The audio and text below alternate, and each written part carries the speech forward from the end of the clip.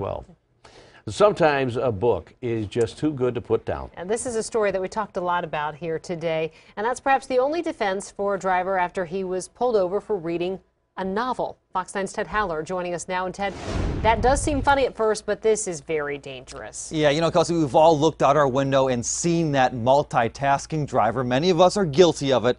But now a driver in Eagan has a new slip of paper that would make a great bookmark and he's kind of weaving this way, weaving the other way. Weaving a yarn like a good mystery novel, so went this car on Eagan's Highway 149. What are we looking at on our laptop or our tablet over there? 3361 I was reading.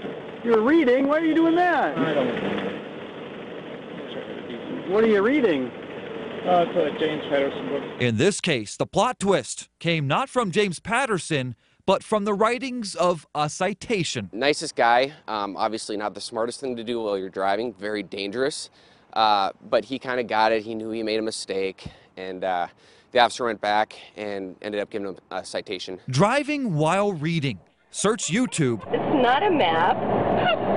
It's a novel. You'll find more bookworm drivers and worse. He's on his cell phone and a Kindle that is multitasking. And a book. Just recently today, I've heard of a lady who's driving down the road with big curlers in her hair, and as she's driving, she's taking her curlers out with her knee up on the, the wheel. Eagan Police spokesperson Aaron Machtemes said distracted driving is only getting worse, mostly because of smartphones. Especially during the day, you'll have a lot of accidents that people are um, texting or doing other things on their phone and they look down for two seconds. That's when the person hits the brakes ahead of them and an, an, accident occurs. One suggestion the officer had to avoid temptation, put your smartphone on vibrate and then put it in the glove compartment. Are you able to drive with that thing down? I think so. I don't I don't want to see you get hurt and I certainly don't want to see you hurt anybody else out here because you would definitely feel terrible if, if that happened. Unlike the fate of some James Patterson characters, we can tell you this driver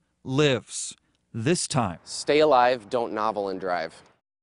Distracted driving kills 70 Minnesotans every single year and results in 350 serious injuries, but officials say that's probably an underestimate. And remember, if you hurt someone while texting, police can later find that mm-hmm. out. Kelsey and Jeff. All right, very important reminder.